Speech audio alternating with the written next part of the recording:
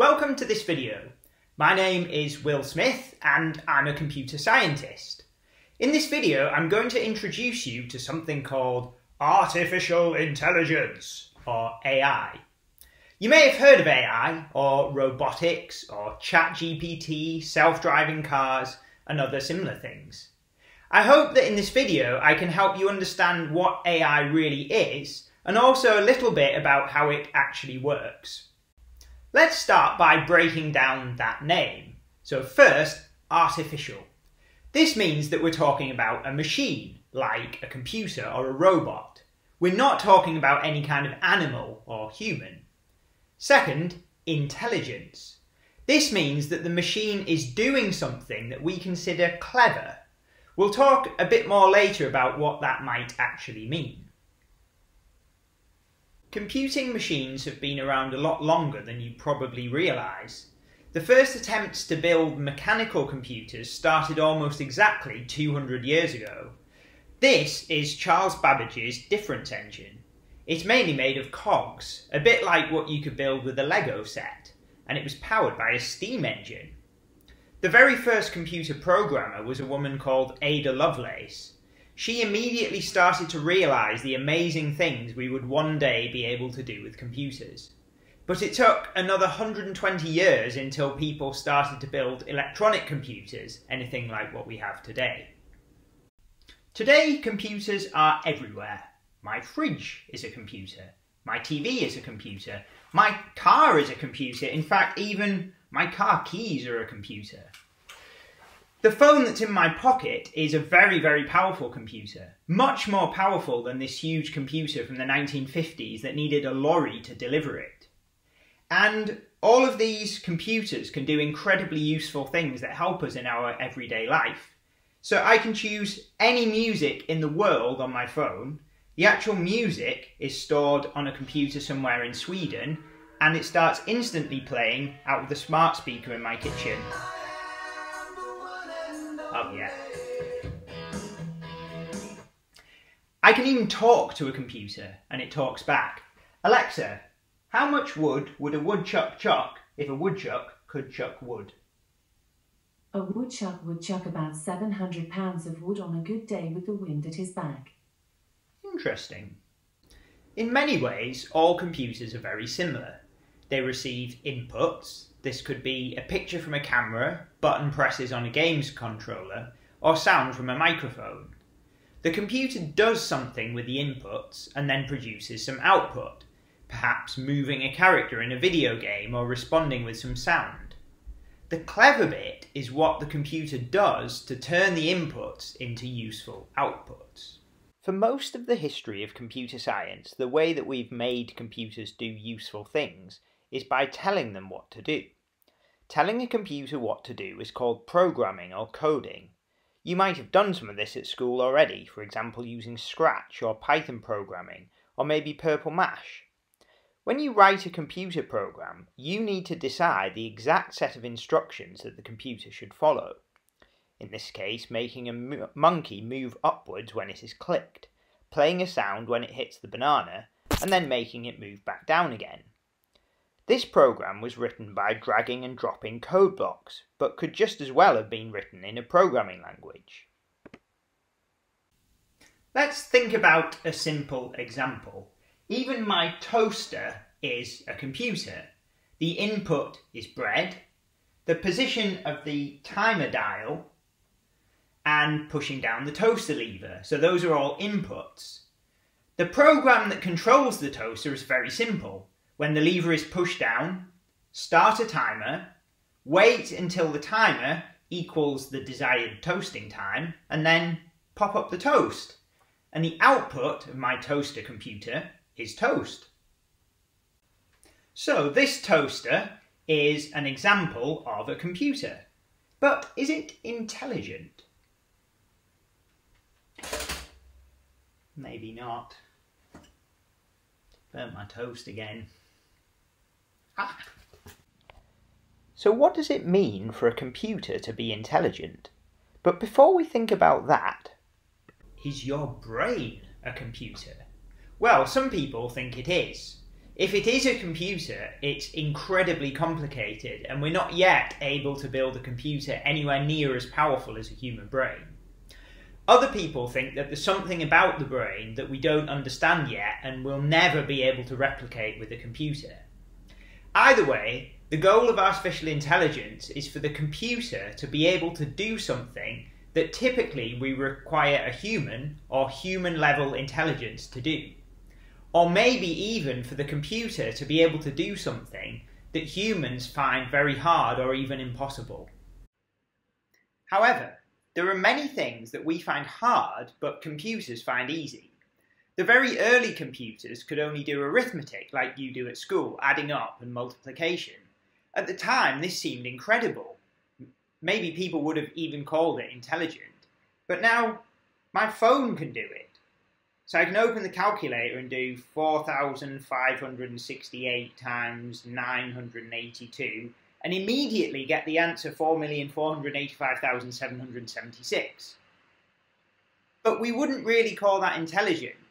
It's just very fast processing of very simple steps. There are also things that we find very easy that turn out to be very hard for a computer to do. For example, these robots just have to walk up to a door and open it. They fail spectacularly to do this. The last one doesn't even manage to walk from the car to the door. One definition of artificial intelligence was proposed by Alan Turing in 1950. Alan Turing was an early computer scientist who did many incredible things. He was a code breaker in the Second World War and helped to crack the Enigma code. He also developed many of the theories that underpin all modern computers. But he also devised a test for artificial intelligence called the Turing test. Imagine your person C in this diagram.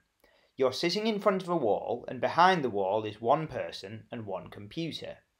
You can communicate with them by writing messages on pieces of paper, and you receive their written responses back. Would you be able to decide which of them is the computer and which is human? If not, the computer is said to have passed the Turing test, and for some people, this would mean the computer is intelligent. If you've ever tried out the incredible ChatGPT, then you might think computers can already pass the Turing test. But let me show you some examples of it giving answers that would make you immediately suspicious. First, I asked it how many times the letter S appears in the word sausages. A young primary age child could easily answer this, but it gives the wrong answer of 2. Next, I ask it a question where it needs to understand the physical world. I asked it what would happen if I push a football with a piece of cooked spaghetti. Its first suggestion is that the spaghetti would break or snap. We all know from a young age that cooked spaghetti is floppy and doesn't snap. But ChatGPT doesn't have our experiences to understand this. So how does AI actually work? There are two main approaches to AI. The first one was popular from the 1950s to the 1990s and is called symbolic AI. The idea is to represent the problem you are trying to solve and then to get a human to design rules that can be used to make good decisions or search for the best possible next thing to do. For some types of problem, this works well. In the 1990s, the world champion chess player Garry Kasparov was beaten by a computer called Deep Blue using this approach. At the time, people were amazed. They really thought we had an intelligent computer. Let's see how this symbolic approach to AI works using a much simpler game than chess. Imagine I'm playing a game of noughts and crosses with my daughter. She makes a move and I need to decide what to do. Hmm. We can see that I have five squares that I could possibly put my cross in. I can search through all the different ways the game can go. I want to win, but I also know that she wants to win and she will try to play the move that helps her to win. Let's consider two of the five options. If I play here, she can play the corner, giving her two different ways to win. I can only block one of them, so she takes the other and wins. I lose, so this is a bad outcome for me. This means that the original move I made would be scored badly. Let's try another option. If I go in the centre, I open up two ways for me to win. She can only block one of them, so I take the other and win. I score this highly, which means I score the move that led to this highly, so this is the move I will play.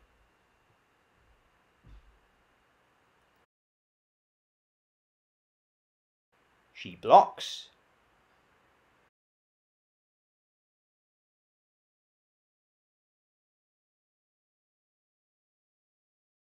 And I win.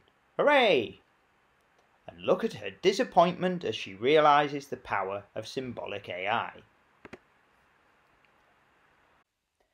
This way of considering all possible futures in the game is called a game tree. It's quite easy for a computer to search through a very large game tree automatically, without a human having to decide which option is best like I just did. This is how Kasparov was beaten by Deep Blue. This is a kind of AI, but actually it's very similar to the coding in Purple Mash that we saw earlier. A human still needs to write the code to decide whether a move is good and to search through the game tree. This works well for simple games where the number of possible moves is small and it's easy to know if a move is good. With a powerful computer we can make a very good chess player like this. But should we even consider playing chess intelligent? I'm not so sure. This brings us to the second approach to AI, which turns out to be much more powerful and can solve many more problems. This is called machine learning. Let's start by thinking about how you are able to read. You spent hundreds of hours at school where a teacher would show you something like this. You might have said, at, and your teacher said, no, that makes a sound at. Many times you were reading, you might have sounded out k, atter, catter, and someone corrected you. No, it's k, at, cat. Eventually, when you had been corrected enough times, you learned the sound and could read it. Machine learning is very similar. The computer tries to create the right output and we tell it how well it is doing, just like the teacher. We never tell it how to solve the problem, we don't write the code. Instead, it writes the code itself to learn how to solve a problem. But the code it writes is very different to the sort of code you might write. Let's see with an example. Imagine you want a machine to learn how to estimate someone's age from their photo. So the input to the machine is the photo and the output is the age. This would be an incredibly difficult program to write. I wouldn't even know where to start. In machine learning, we replace the program with some maths. The way that the maths turns input into output depends on how we set some adjustable sliders. We call these weights. If I change the weights, I get a different program. Now we need the system to learn. For this, we need training data comprising photos of people along with their actual age. We put my photo into the system and out comes a predicted age. 103 years old? That's not very nice. But we know that my actual age is 41. This is called a label. When we have labels, we can do something called supervised learning. We measure the error between the current output of our machine and what we want it to output. Now we can adjust those sliders to try to make the error go down. After one round of adjustment, our machine now predicts 37. Thanks, that's much better. That's much closer to the right output, so we know that the system is performing better. We keep adjusting until we can't make the error go down anymore, and then we've got the system as well trained as is possible. The last thing we need to know is what this program or piece of maths inside the machine actually looks like. This is copied from the human brain, or at least very loosely inspired by it. Inside the human brain are billions of a type of cell called a neuron, Neurons receive input from lots of other neurons. If they receive enough input, then they will fire, sending an output to another neuron. In machine learning, we replace a neuron with an artificial neuron, which is really just a very simple piece of maths. All an artificial neuron does is multiply each of its inputs by a different weight. These are the adjustable sliders. Then you add up all the results giving you its output. So, an artificial neuron is just primary school maths, addition and multiplication. To solve difficult problems, we need lots of neurons. We connect them together into something called a neural network. A typical neural network to solve a problem like estimating age from a photo will have millions of neurons, but the idea and how we train it stays the same. I'd like to finish up by showing you a few examples of how this exact approach can be applied to solving really interesting and difficult problems. You may be wondering how a computer could be trained to do something like ChatGPT, where it can generate very realistic text. Let's take this example where the input to our machine is part of a sentence. The cat sat on the... And the job of the machine is to predict the next word. In this case, it predicts bat. However, we can gather lots of training data if we simply go on the internet and find all the text we can from every different web page, we get examples of lots of different valid sentences. In this case, the original sentence was the cat sat on the mat, so we can measure a loss, like we did before against our label, between bat and mat, and we can update our machine to try to produce sentences that are more like what was seen in the training data we can then take the complete sentence, the cat sat on the mat, and feed this as input back into the system to generate the next word and keep going until we generate lots of text. This is essentially how systems like ChatGPT work. Lastly, let's see how a self-driving car might work. In this case, the input to the machine is a video frame from a camera looking out from a driver's view inside the car. The output of the machine is simply how the steering wheel should be positioned and whether the brake or accelerator is being pressed. The question is, where do we get the training data in order for such a system to learn to drive? The answer is actually very simple. We can simply have humans drive around in a car while a camera records the view out of the window and we record exactly where they had the steering wheel and what they were doing with the pedals we can then train our machine to try to copy the behavior that the human did when they were driving the car. By doing this, eventually the machine should be able to learn to drive in a safe way in any situation. That's exactly what's going on in this video. This car is driving entirely by itself, having only ever been provided with examples of how the steering wheel and brake and accelerator respond to what the driver sees out of the window. This sort of approach works reasonably well, although of course the car doesn't actually know where it's going or where you would like to get to. I was especially impressed a few years ago when one of our first year university students built a remote control car using exactly this approach.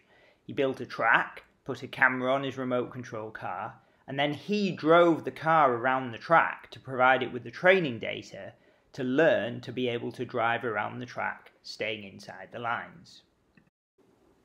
I really hope you've enjoyed watching this video and that it's inspired you to find out a bit more about artificial intelligence, robotics, self-driving cars, ChatGPT and all these other exciting developments that are currently taking place. If you'd like to get more involved or have a potential future career in AI, my best advice would be to stay focused on the maths that you study at school. You wouldn't believe it, but the maths that you study at A level, including things like the chain rule, are absolutely crucial to the um, underlying ideas behind some of what I've shown you today. Also, try out some programming, and if you can get involved in your STEM club activities related to anything like robotics, that will give you a great start and exposure to the sorts of problems that we're interested in solving in the future of AI.